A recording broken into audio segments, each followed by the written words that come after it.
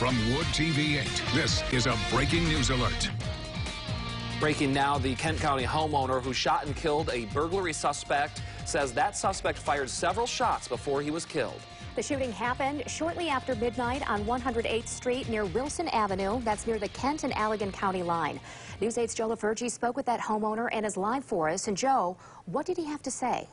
Yeah, Emily, Tom, uh, this is the home we're talking about here on 108th in southwest Kent County. Al Leonard is a homeowner here.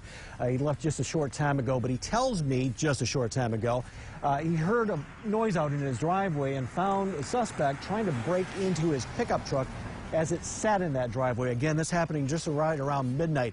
He confronted the suspect from his front door, told him to leave. The suspect didn't leave. Leonard then went in the house and called 911. Also made it to a locked cabinet that had a hunting rifle in it. The suspect at the same time was breaking into another door at the home here, making his way into the house. Leonard grabbed that gun, called 911 again, and told the suspect he was armed and told him to leave. Well, that's when Leonard says he began to fear for he and his family's safety. The gentleman was out here at my pickup truck, knocking the windows out of it. We yelled at him to go away. He proceeded to advance on us. We shut the door, locked him out, called 911.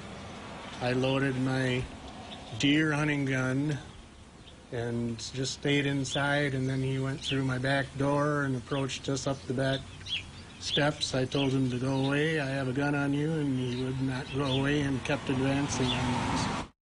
Then he started shooting at me, and bullets going past your head like that.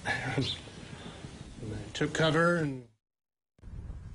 Obviously, a, a, very, very tough situation for Leonard. I asked him how he was doing. He says he's uh, obviously quite shaken up over all of this. As for that suspect, we have not, the Sheriff's Department hasn't released a name yet.